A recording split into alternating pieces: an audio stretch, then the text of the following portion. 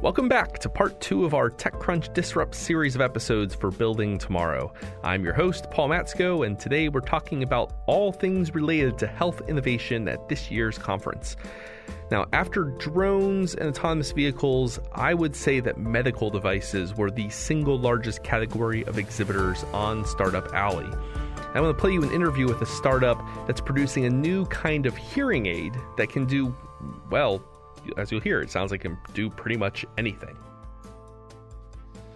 I'm sitting with Dr. Dave Fabry, of uh, who's the CIO of Starkey Hearing Technologies. We're going to talk about their new product, the Livio AI, which is a hearing aid, but much more. Uh, welcome. Thank you for taking the time to talk to me, Doctor. Thank you very much. It's my pleasure. We're so this is a hearing aid, but that, that, I think doesn't do justice to what this uh, device does. Um, so it's going to improve people with hearing loss. It's designed to help them uh, hear what's going on around them. Uh, but maybe describe some of the more innovative sure. elements yeah. of this device. I mean, uh, I'm an audiologist. My background this is my 35th year in the profession. I've worked on industry and on the on the clinical side. And what we're particularly, what I've spent 35 years doing is trying to persuade people to address the fact that they have hearing loss and consider wearing hearing aids. In many cases, that path to hearing health is one that it's delayed by seven to ten years. This product, Livio AI, is directed uh, to try to raise. You, you can either try to do a number of things to address, address stigma associated with hearing loss. You can try to make them smaller and cosmetically appealing, and we think we've done that with the package of this. Oh, it's wow. a good-looking, small inch, device. You didn't even know yeah. I was wearing no, it. Did not. And um, but you can also do it by amping up the technology. Hearing aids, as we traditionally think of them, are standalone devices that are designed to amplify sound to compensate for a person's hearing loss. About four years ago, we were among the first to introduce a device that was connected directly between a smartphone and the hearing aid without an intermediary device. So we were able to st- uh, stream crystal, crystal clear audio, whether it was phone calls, yeah. whether it was Siri, navigation, any app with any audio at all could be streamed directly from the phone to the hearing aids, making it a connected device.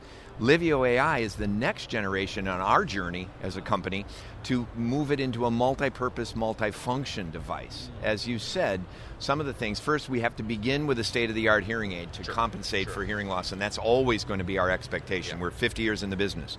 The next thing that we're interested in doing is adding features that will be of interest to people like myself. I'm a baby boomer.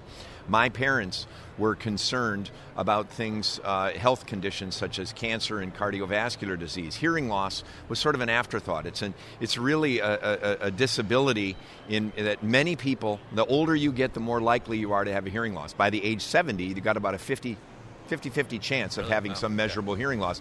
And yet, many times when people go to see their primary care doctor, they'll say, Oh, your hearing's normal for your age. I hate those words because It we be- assumes it's assumed you're going gonna you're just going to have to deal with it. And yeah. and we say now that the data uh, show a couple important things that lead into why we developed this product. First of all, that uh, we know that many cardiologists will say that the ear in the aging individual is a good overall indication of cardiovascular health.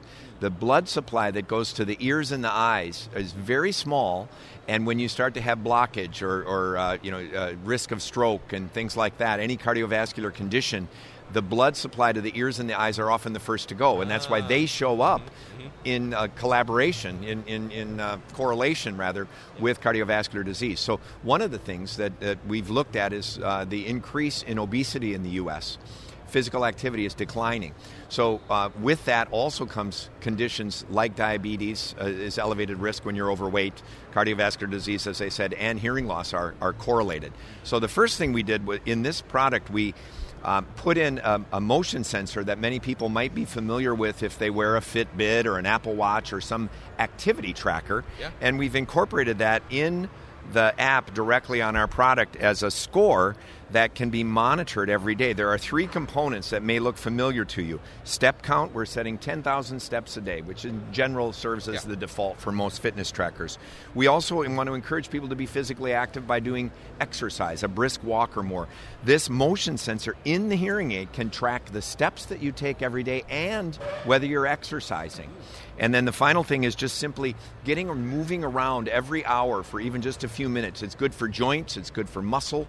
And so that part of the physical side of the equation is something that can be monitored directly in the instrument in instead of having to have a secondary separate device, a separate tracker, device. right, if they're already wearing their hearing aids and we know that they're physically active, we can track it, we can record a score from 0 to 100 every day. The, that's the first time it's been introduced in a hearing aid directly. We're coupled also to Apple Health. Um, but but it, the nice thing is, is I have a dog. I like to go. Uh, my dog likes to go for walks. I can just take my hearing aids. I can go for a walk. I can leave the phone behind. When I come back in range of the phone, it'll couple and it'll update the steps. So I have no step regret. Every step gets counted. That's good. That's Um, important. It's trying to hit important, the yes. 10,000. That's right. Everyone counts. and then and then the other part so so the fitness uh, you know it, it- first time in a hearing aid that we're incorporating this motion sensor that can track steps exercise and movement but then the brain function is really in in response to research that has shown that untreated hearing loss in the aging population is correlated with cognitive decline. We know that people who previously, if they didn't have hearing loss earlier in life, they were active, vibrant, socially active, that as they start to have some difficulty, like the noise here at TechCrunch, Become they start pulling back. themselves, It yeah. can lead to, and data have shown that it leads to social isolation, even depression, and ultimately cognitive decline. Now, I'm not here to say that hearing aids will prevent dementia, but we know that the longer people wait after being diagnosed with a hearing loss to doing something about it, the greater the risk for actually expediting that cognitive decline. And so, what we've done is we've built in the other side of this Thrive score, the wellness score, in the app that can be viewed and monitored by the end user, by the patient, is first use. We know that the more people use their hearing aids that compensate for hearing loss, the better they're going to do. And when you think about it, your ears are really just a very sophisticated sensor, much in the way that your eyes are a sensor, your fingertips are a sensor, your tongue for taste is a sensor. Where you really hear is in your brain. They're all feeding input into that and so the, the, the brain is where the hearing occurs. And so we know the more you stimulate the brain by using amplification appropriate for your loss the better your brain is going to be stimulated. The second element that we're talking about is social engagement we employ AI and machine learning in this hearing aid to constantly monitor every environment where the person is. Hmm. And what it can determine is is it a quiet or noisy environment? Is there speech present?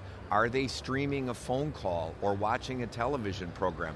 The most important stimulus that most of us hear on a daily basis is what? Speech. Right. The human voice. Yep. We can monitor that and log that when a person is around and engaged in conversation with other humans. We'll total those up and give a point total Yeah, yeah. each day for the engagement that they have. And then the final piece is what we call active listening. In this case, we don't we want them to wear their hearing aids, talk to other people, and get out in the world. Yeah. Wear their hearing aids everywhere they go. Wear them when they're at TechCrunch, when they're in challenging environments. Wear them when they go to a restaurant, a gym. Because two things. One is they'll begin to see how much better they're going to do in those situations. yeah. And then it also allows the hearing aids to be optimized by their professional or even to a degree within the app by themselves. Hmm, They have some capability of customizing the function Nice, yeah. to their liking, but but most people still Rather than um, having to go, you know, and, and manually and yeah, you know, they right? can adjust it so that it can operate pretty automatically the majority of the Mm-hmm, time. But that in in turn, uh, we also have incorporated a telehealth feature in here that we're calling Hearing Care Anywhere. If I'm at a difficult listening situation like this, I can actually uh, initiate a request that goes to the cloud, and that my professional will notice that they receive a request that says, "I'm at TechCrunch and I'm having trouble hearing male voices." They can in turn send an adjusted uh, uh, Yeah, yeah. setting without me needing to go always back into the clinic for adjustment. Much more convenient. We're, we're not we're, we're trying to make it convenient for the professional and the clinician by enabling this telehealth, which we think is a large part of the future. Because even though people can adjust themselves, most feel most confident in the hands of the right, professional. right, sure. The other thing that we're really quite excited about in this case, and first again for the hearing aid uh, market, is real time translation. So, uh, my wife and I were just in Paris last week, and my high school French can only take me so far. That's right. So, um, Où est le WC? You know, the basics. yeah, there. yeah, I like exactly. Bonjour. You know, Yeah, and uh, and so what we do is we incorporate a real-time translation feature in here that can go both ways. I found it very useful two ways. One is if I'm in a situation where um, you're a native French speaker, you want to speak to me, and I want to be able to understand it.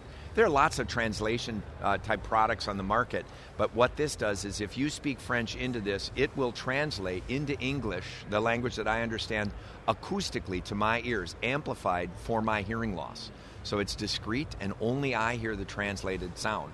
The other way that I, I found it quite useful to polish up on my high school French similar to some of the other uh, uh, language training programs, is that if I just switch the direction, so I go French to English, then if I say, you know, where's the bathroom, and then it will go où est la salle de bain, and it'll it'll give me a pronunciation guide acoustically, discreetly, and then I can use it to coach myself to improve. But we're really excited about that, and we've had terrific response from what, the translation. Does it use like a Google Trans? I mean, it's using a number of different AI services that we're putting in and embedding with that. Uh, we can translate 27 languages right now. We really don't want to hitch our wagon to one or the other, but we want to be able to take advantage of that machine learning, of that AI, as those improvements continue to work. We'll develop our own and collaborate with others. That's really exciting. So I mean, we've got you've got a translator in your ear, you've got a, a fitness tracker in your ear. Um, a, a, a health, a mental and cardiovascular health uh, mon- uh, a medical device in your ear. Um, something else I saw on the uh, product list was uh, geotagged adjustments. So yeah, like if yeah. I thought that was actually a cool. Yeah, feature. and that was what I kind of showed you in the sense like here, I could go in here, I can use the GPS that's embedded in the phone so that I could tag this location and, and, so that when I return to this situation, it will remember the settings know, that I right. made. Another feature that is quite useful that also uses that geotagging is one we call Find My Hearing Aids. This will show that my hearing aids are connected to the phone and exactly where we are right now in the Moscone Center, and even kind of a divining rod that shows how close the devices are to the phone if I happen to leave them behind. So inevitably, those times when you think you forgot them at home, but they're actually in your pocket, now you'll know. Exactly. They're my mind, yeah, I'm, I'm working on that cognitive climb. We also have gesture control, that that that that motion sensor, so I can um, tap the side of the hearing instrument and enable streaming from a remote microphone Yeah. or from a TV device. Uh, very natural user interface without having to fumble for the controls. Great, yeah. Now, Um, w- one last piece here. So, Yeah. um, I- know a lot of our listeners are going to be, you know, uh, millennials, Gen Z, you know, Gen Yep. X. Uh, so they're not thinking about the hearing aid Right. functionality of this. So they, sh- they should be because, Sure. again, like I said, 50-50 by the time you're 70. So right. it's going to come for us too, inevitably. Right. Um, do you see a future? Maybe this is not specifically for the Livio or for Starkey, but do you see a future uh, a future in which some kind of hearing aid style device, you know, or really just headphones, Yeah. that do all the, does a lot of the same functionality is something that we all just wear all day long, Yeah. whether or not we have hearing loss. Well, and, and I think it's a very important question you raised because right now there's a stigma associated with hearing loss and hearing aids, and only about 30% of the people with measurable hearing loss actually wear hearing aids. What I'm finding with the baby boom generation, like myself, is I'm less stigmatized by hearing loss and hearing aids, but I have higher expectations that they'll meet my needs or exceed my expectations. And we think this device is a first step towards that. And to your point, I've been wearing these devices, even with very minimal hearing loss, for about the last three months. No one even knows that I'm wearing them. And if they do, and I explain what they do, they say, How do I get them? I don't even have a hearing loss and I want to get them. The issue that I see, think about the way, and I'm old enough, I'm a lot older than you. Computers, we used to have the entry point into the computer was through the keyboard. Then we had the mouse. Now we have touch display. Now we have voice. Think about Siri, Alexa. Think about all of the aging population and the fact that they may have some hearing loss but want to use that front end natural user interface of a voice. That's where we think the big opportunity is is that it's the entry point into the World Wide Web, into the CPU of the computer, into your phone, and that we think has a lot of appeal not only for people with hearing loss but for everybody. Yeah, well, wonderful, Dr. Fabry. Thank you for taking the time to My talk pleasure. with me. Thanks I very appreciate much. it, and uh, good luck with the rest of your TechCrunch. Thank you. As it so happens, news recently broke that Starkey will have two major competitors soon. Uh, Apple and Google have announced that they are forming partnerships with other hearing aid companies. Now, if you think about it, those AirPods uh, that Apple likes to promote, it's a pretty good foundation for something that sits in your ear and amplifies sound, which at the end of the day is what a hearing aid is. The question is whether companies that make headphones can develop the medical device aspect more quickly than the medical device makers can develop the multifunction stuff. So it'll be an exciting race, but the fact that there are so many entrants into this space goes to show you that the hearing aid sitting in your ear, that is kind of the future future of wearable tech. Our next startup interview isn't about making a medical device, uh, but they are innovating how we, or more accurately, our pets, will get their medicine in the future. Listen in. I'm sitting here with Arun Girdhar, uh, who's the CEO and co-founder of Pinpoint Pharma. Um, now, Arun, you have a medical device designed to allow the uh, maybe I should say manufacture, but the mixing of, of pharmaceutical compounds for animals, for pets. Is that right? Sort of. Uh, we okay. don't think of ourselves as a medical device. We are primarily a compounding pharmacy for veterinarians, except that we are a 21st century compounding pharmacy. We make custom medicine for pets on demand. What's different about us is that we have a proprietary printing technology that is much more efficient, much more precise, and much more rapid than traditional compounding pharmacies, which largely do things by hand. Mm-hmm, mm-hmm. And that's actually been uh, uh, an issue for uh, pharmaceutical companies or, or um, pharmacies, I should say, uh, that are focused on compounding uh, for humans, prescription you know, prescription drugs for humans, a scarcity of compounding pharmacies, especially in underserved and rural areas. Um, is the same thing been true on the pet side that a pharmacy that's willing to do on site compounding for uh, pet prescriptions? I cannot speak about the human side because sure. we are specifically focused on pet Absolutely. medicine. Yeah. We find that the missing need is not so much rural or geography based, it is across the entire nation, in that many veterinarians are deeply aware that different pets need different kinds of medicines. For example, uh, you have different species, even within the same species, you have different body masses.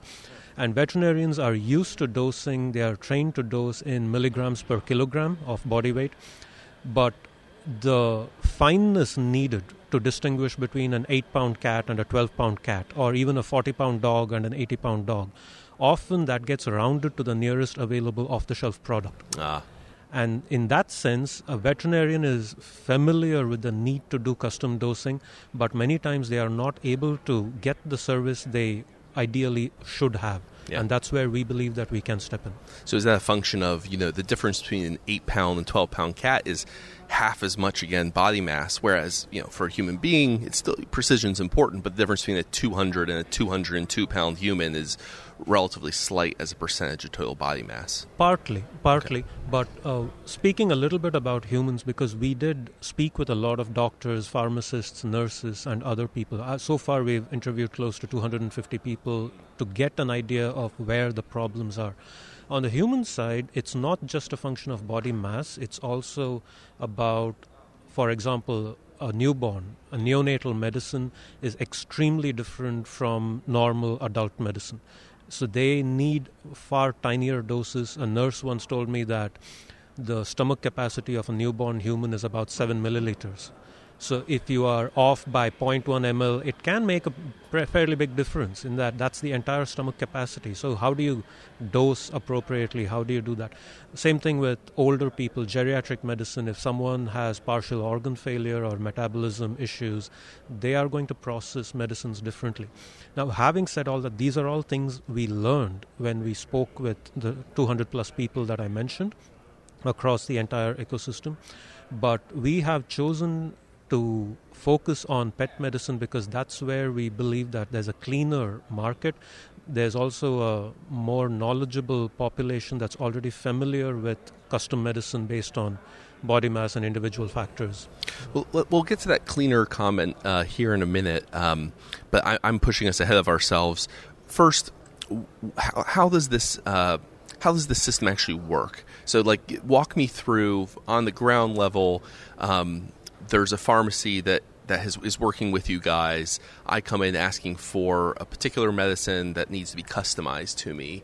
How's that process then look? We are catering straight to veterinarians, so I'll tell you how the no, process sorry, works. For the animal, yes. Right. Yeah. Mm-hmm. From the veterinarians. It's like, let's say you take your pet to the veterinarian, they decide this is the medicine this specific pet ought to have. It can be, let's say that you have a 12 pound cat, it's a slightly heavier than average cat now, your veterinarian is going to use their knowledge to figure out how much medicine this cat needs, in what form, whether it's oral or not, and if it is oral, what flavor, and those things can all be customized. There's as much variation across pets as taste variation across humans. What works for one pet doesn't work for another. The veterinarian then goes to our website and places an order. They say, make this medicine in this many milligrams per dose, this many doses, in this product form, whether it's oral or not. And if it's oral, it can be uh, any pretty much any form, whether it's liquid, solid, chewable, all that. If it's uh, skin absorbable, they specify that. And we pretty much print that medicine. What our technology does, it's kind of like an inkjet printer for medicine. It's how a regular inkjet takes liquid ink and puts it on blank paper. That's your final product. We take liquid medicine and put it on blank substrates. So the substrates are just inert carriers. But the medicine is added to the substrate in perfect concordance with what the specific patient needs. That's where the thing comes. And we, once we print it, which is a pretty rapid process, we just ship it straight to the client. That would be the pet owner in this case. So that's okay, how nice. it works. So isn't even, it, can, it can then at that point bypass. It doesn't have to go to the to the veterinarian's office first, and then to the patient. It can go straight to the patient. At that we point. yes, we did offer the choice to veterinarians that we can ship it to you, and you can give it to the patient, uh, or any however they wanted to do it. But they expressed a preference for shipping it straight to the client. That way, the client does not have to make two trips to the veterinarian's yeah. office. More convenient. Convenience. Yeah. And is that something that can be done? I mean, you can. Uh, order it one day and by the next business day have it expressed shipped to you and what's the time frame for that? It depends on how far away they are from us. We can print it pretty much right away, in that the speed of what our process does, we can very easily make more than one dose per second, depending on the volume of medicine in each dose. It's analogous to how if you're printing uh, monochrome, like just text, it comes out pretty rapidly out of the printer. But if you're printing something graphics heavy, it comes out a bit more slowly. So it depends a little bit on how much medicine is in each dose, all that. But we can print it right away and we can ship it same day so that the client can get it anywhere from overnight to two days out. That is kind of what our business model is. Mm. Um, now, with this, uh, with with you know prescription printing like this. Um, did you have a background on the kind of the printing side or on the, the you know the medical side on the, what what was the background that brought you and made you kind of interested in, in this in this field? My background is in chemical engineering. I'm a PhD in chemical engineering. That's been uh, quite a while ago. But my entire professional career I have spent in pharmaceutical production at both at the larger scale, like half a million tablets an hour, as well as what we are doing in the custom medicine and things in between, in the about 50,000 tablets an hour. That kind of uh, that kind of scale. It's not really so much about my background as we just found where the need was, and I personally decided to apply my engineering background to where we believe the problems were. We collaborated with pharmacists. We have collaborated with uh, medical doctors on the human side as well as uh, veterinarians. So that's it's an interdisciplinary effort all yeah. in. that's really. I mean, I think it's it's neat to see these different fields coming together. I mean, you've got the, the printing tech, you have the the need for chemical engineering and, and you know dosing and which obviously needs the medical side, and I think it's a neat confluence of, of fields. Um, this, I think, is a good time to talk about um, the, the animal human side. And uh, uh my understanding is that it's actually it would be no more complicated to print you know pharmaceutical drugs for humans. So it's not a degree of difficulty of technical difficulty question. It has to do with the messiness of our health insurance system and regulatory approval. Can you walk us through through that? Partly yes. We had a variety of conversations with people across the ecosystem, as I mentioned, and from a technological perspective, there's nothing preventing us from printing custom medicine for humans. The issue was that I had mentioned earlier that the animal side was a lot cleaner, and what we found was on the animal side, the people who are paying for the service are the pet owners, and they are also the people who directly visualize or witness the problem. It is very closed and localized in that sense. Whereas on the human side, for example, we have great benefits in the precision of our medicine, in that we can get sub milligram level dosing, which is currently completely unheard of. So, this can easily benefit neonatal care or geriatric care, or people who are using things like warfarin, where the difference between 2 milligrams and 3 milligrams is the difference between therapeutic and overdose. One will land you in the ER things like narrow therapeutic index drugs. There's a variety of drugs, there's a variety of patients for whom our sort of high precision printing process will really benefit. However, the patient we found is the beneficiary. The doctor has to do something slightly differently in that veterinarians are extremely used to doing things on a milligram per kilogram basis. On the human side, the guidelines are not milligram per kilogram that often. Many times it would say something like adults take 20 milligrams, children below 12 take 10 milligrams. It is already discretized in that sense. The third thing is on the human side, the majority of the time it's the insurance company that pays for the medicine, and it was not clear what their incentive was. So the payer was different, the person writing the prescription has to do something different, and the beneficiary doesn't pay, just sees the effects without having to do anything it was a very complicated system on the human side with the sales cycles being very long and protracted. So we decided as a startup we are not going to mess around with that. We are always open to dealing with human medicine as a different vertical in the future, but we chose to focus all our attention on pet medicine because there the problem was much more well defined. People already knew that they were not getting the exact fineness of the dosing that they needed Plus, there was a huge huge problem on the veterinary side in terms of patient compliance. This is something that humans can, for example, swallow a bitter pill, literally. You can kind of just grin and bear it. Your cat will spit it out. First of all, if your cat is small or if your dog is a smaller thing, you often have to buy something off the shelf and you have to subdivide it into four pieces two pieces, four pieces. You might be doing that by hand. Not all tablets are pre grooved, and you might not get the same amount in each quarter of a pill. You might get only three pills, the fourth might crumble into powder. You try to give this to a cat, and now it claws you yeah, because right. it doesn't want to right, yeah. take medicine. Or because it, it's a cat, let's just. or it, it might take it, but then it spits it out. Right. So yeah. now you have you know you are scratched and bleeding. The cat has spat its medicine out. There's this white foaming mess on the floor and you don't even know whether you gave the right dose to start with. On the animal side therefore it made a, there was a lot of pain in getting animals to voluntarily take medicine. So we believe that customized medicine there it's not just about the dosing levels it's about if we can make something that the cat voluntarily wants to take, it will really simplify the lives of pet owners everywhere. Now, does this mean using a different substrate that's more appealing, tastes better to the animal? How's that? It's a variety of things. In okay. that, I, I did mention pharmacists had told us that tastes vary with individual animals as much as it varies with humans. So they do not have the knowledge ahead of time to make something that will appeal to all cats.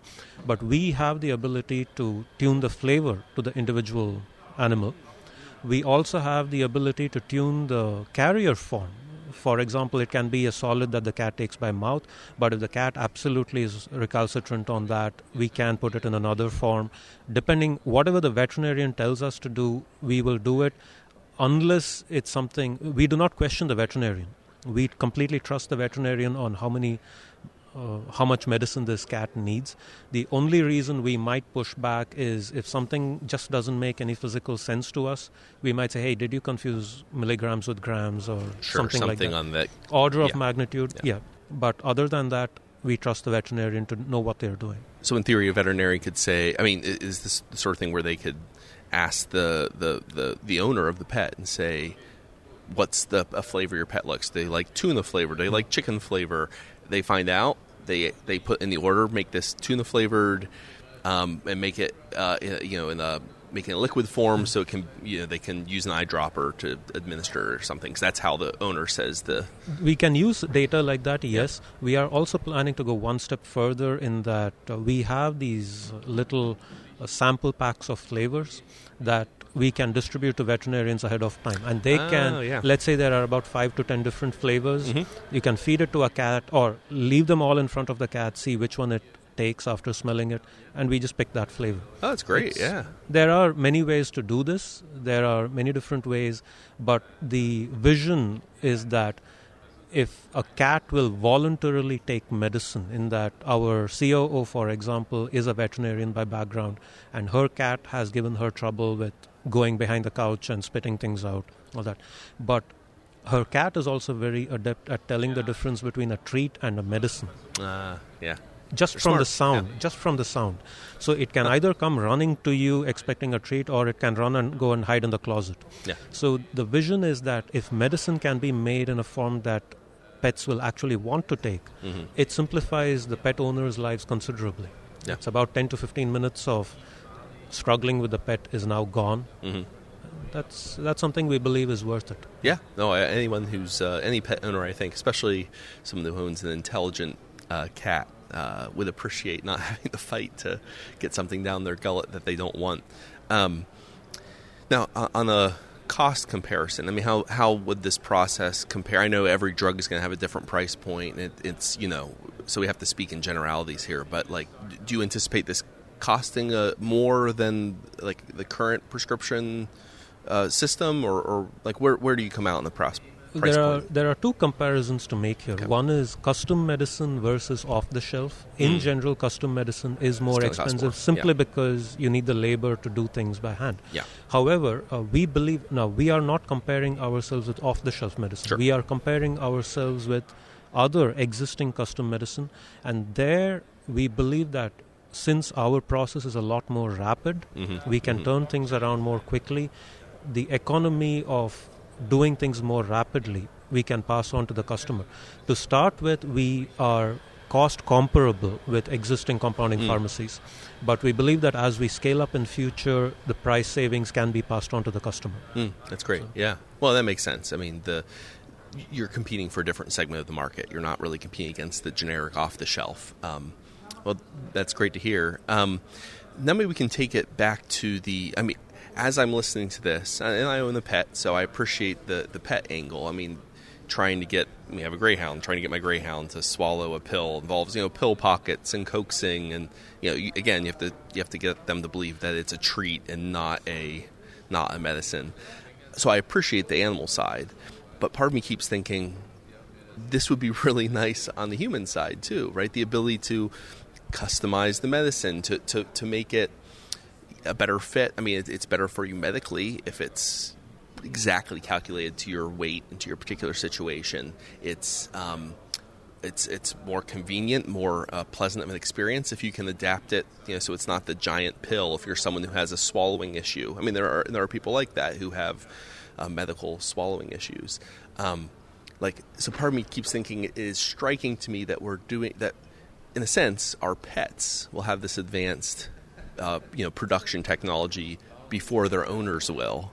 Um, and that just is very, very striking uh, to me. So, on the on the human side, what would what would need to change before you guys, you know, really seriously considered expanding into a human phar- pharmaceutical space? That it's an interesting question. Uh, we right now the situation with the human medicine was not clear. That's why we focused on the animal side.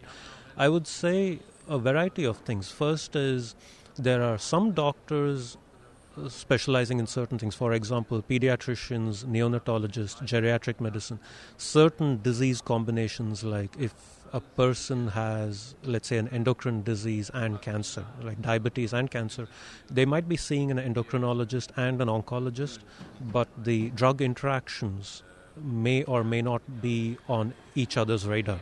It's often the nurse or the pharmacist who becomes the final point of contact, and they have to figure out which of these things are going to interact.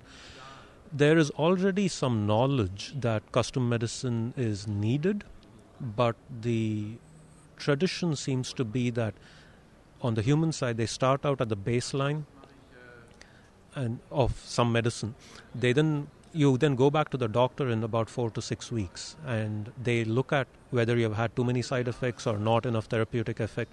They adjust the dose. It's either high or low depending on what happened.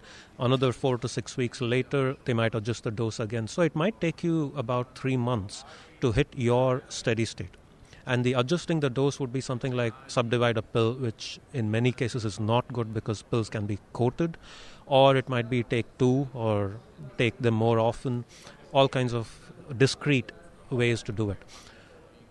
That we believe can be changed upfront because this is not something we do in house at Pinpoint, but there are we are aware of many people in the field who, for example, take your liver function test, your blood draw, or plasma draw, or just your genetic factors, or your doctor can use your entire medical history, use their judgment to say this is how much you need. The issue there is they might be able to calculate you need 7.35 milligrams or whatever the number is, but you are torn between a 5 and a 10. So even if they can calculate it, there is no mechanism right now to efficiently make what you need other than existing compounding pharmacies, most of which is currently still done by hand. So that is one thing that needs to change is that doctors and people writing prescriptions would need to become more used to writing things on a continuum rather than discrete levels. On the insurance company side, if let's say that the doctor needs to do a blood draw before they prescribe this custom amount, it is not clear right now who is covering the cost of that blood test. The blood test can be very rapid. It can be done right while you wait in the doctor's office. It usually takes no more than half an hour from what I have read in the literature by people who have come up with tests like these. We, again, it's not something Pinpoint does directly. However, there was a stymie about who would pay for that, and this is not something a pre prescription blood test is not currently covered or is not familiar to many insurance companies. That sort of education we believe might need to happen all these things are completely bypassed on the veterinary side simply because they do milligrams per kilogram basis right out of the gate. Yeah. So yeah. they are extremely used to it. Well, hopefully, you know, as you know, a, as the medical community writ large sees this working on the animal side, and you know, and, and this, you know, I, I'm convinced becomes a dominant way of doing uh, um, compounding prescriptions for animals, you know, they'll, they'll, they'll start to make changes on the health insurance on the medical on the human medical side that makes it possible to port this over uh, to uh, human medicine. So, uh, Arun, thank you for your time. Thank you for explaining what Pinpoint Pharma does. I think our listeners will enjoy hearing about this, and I'll put a link in the show notes to uh, your website so they can uh, look at you in more detail. Absolutely. Thank you for having me. I'll admit that when I first heard that this technology, which promises more accurate drug dosages at a lower cost, was going to improve the lives of our pets and not people first, I got a little disappointed. It shows how life saving and life improving technology is being delayed for humans because the health insurance system is so tangled and messed up. But I'm glad that companies like Pinpoint Pharma are finding ways of rolling out this technology, anyways, even if it means that pups will have better pills than their people do. Now, I suppose our sign off is more fitting than usual today. As always, until next week, be well. Building Tomorrow is produced by Tess Terrible. If you enjoy our show, please rate, review, and subscribe to us on iTunes or wherever you get your podcasts. To learn about Building Tomorrow or to discover other great podcasts, visit us on the web at libertarianism.org.